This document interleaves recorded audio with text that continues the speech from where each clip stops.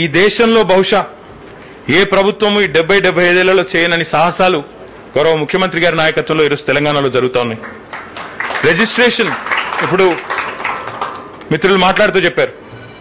Registration ఇన్స్టెంట్గా జరగాలి mutation ఇన్స్టెంట్గా జరగాలి అనేది అందరి కోరిక. వాస్తవాన్ని వాస్తవాలుగా మాట్లాడుకుంటే నాకు తెలిసి మీరు ఏ పదవిలో ఉన్నా సమాజంలో ఎంత ఉన్నత స్థాయిలో ఉన్నా గతంలో ఈ ధరణి అనే వ్యవస్థ రాకముందు. రిజిస్ట్రేషన్ చేయాలి అంటే మ్యుటేషన్ జరగాలి అంటే చేయి తడపందే జరిగే పరిస్థితే లేదు. ఇది వాస్తవం. ఎవరికి నచ్చినా నచ్చపోయినా ఇది వాస్తవం. కానీ ఈరోజు ధరణి వచ్చిన తర్వాత ఎట్లా అయితే పాస్పోర్ట్ ఆఫీస్లో మీరు ఒక స్లాట్ బుక్ చేసుకుని పోయి పాస్పోర్ట్కి అప్లై చేసుకోవచ్చు అవి తీసుకోవచ్చో? ఎట్లా అయితే స్లాట్ బుక్ చేసుకుని ఈరోజు అమెరికన్ ఎంబసీలో కానీ యూకే ఎంబసీలో కానీ లేదా విఎఫ్ఎస్ కేంద్రంలో కానీ వీసా కోసం అప్లై చేసుకోవచ్చో?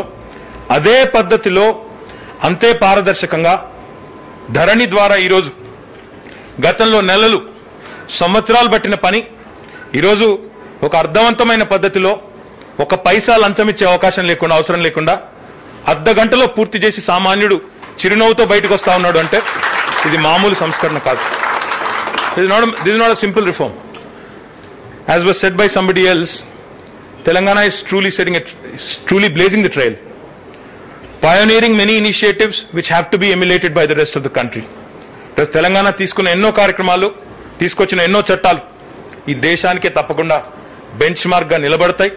భవిష్యత్తులో ప్రతి రాష్ట్రము ప్రతి ప్రభుత్వము ఈ విధానాల్ని ఏదో ఒక రూపంలో అనుసరించక తప్పదు అనే మాట కూడా నేను ఈ సందర్భంగా విజ్ఞప్తి చేస్తా ఉన్నాను. ఇది గతంలో కూడా రుజువైంది.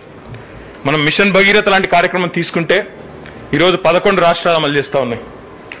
మనం రైతు బంధు అనే కార్యక్రమం తీసుకొస్తే దాన్ని కేంద్ర ప్రభుత్వం కూడా ఈరోజు అనుసరించి వారు కూడా అమలు చేస్తా ఉన్నారు. మంచి విధానాలు ఎక్కడున్నా అనుసరించడం అందరికీ ఆదర్శనీయం. అది మంచి పద్ధతి కూడా.